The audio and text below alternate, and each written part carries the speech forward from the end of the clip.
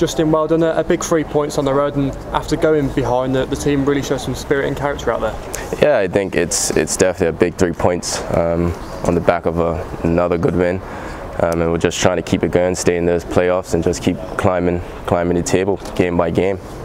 It was a good start, a strong start, and we could have easily taken the lead inside the first five minutes. A couple of shots just going wide, and then they get their goal. Did you have to sort of dig in once once they got their goal? Yeah, I think, you know, I think it kind of shocked us a bit because we were controlling the game up until their goal, and then you know we found ourselves kind of all over the shop in a sense. Um, and then I think halftime was a good good break for us. We came back out um, and were able to sort it out defensively, most like most importantly, and then you know, get two two important goals. So I think we did well to dig in um, and just see the game out. It was a perfect start to the second half of your goal, and just, just talk us through it, your first of the season.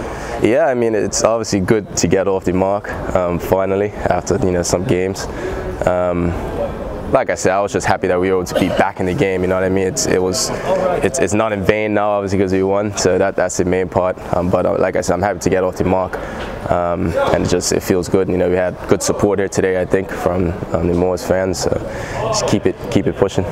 Joe comes on and, scores the winner and a deserved winner because we gained that control once you got that equaliser. Yeah, I mean, you know, Joe has showed his quality all all season, um, and he, we know what he's capable of, and you can see it there. He comes on an instant impact, instantly in the game, and, and creating chances and doing what he does best. So I think you know, credit to Joe. He don't only come on and get the winner. Um, and now on to Saturday, another three points.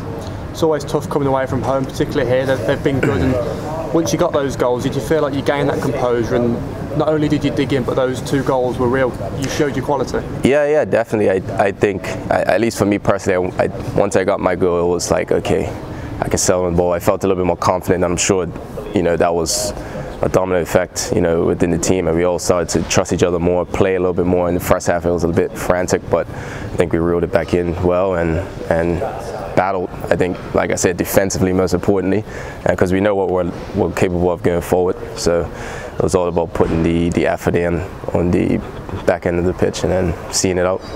Winning's a habit, isn't it? And once Booty pulls off those, those saves at the end and the defence stand firm, you get the three points and the feelings there. You want you want to go again on Saturday. Yeah, Booty Booty had a very very good save. You know, I think that goes in, it can change the game dramatically. And then we're, you know, you're looking to kind of save a, you know, a point almost, but he kept us in the game. Um, and it was just an all-around team effort today. Um, you know, against a very good side. You know, they showed their quality at times, and they were unlucky at some points. But like you said, winnings are and Sometimes things just go your way um, through certain periods. And right now, we're in a good, good space, and we're just continuing working every day to, to grind out results week in, week out.